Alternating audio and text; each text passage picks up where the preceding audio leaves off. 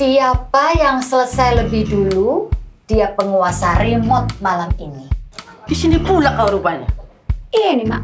Hai ladies ladies, tahu kan kedatangan A kemari? Uang kontrakan.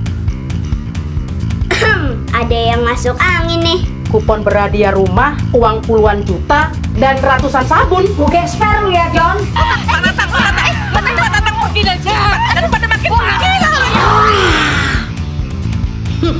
Pasti semut jengki Evi tidak seenak semut jengki buatanku.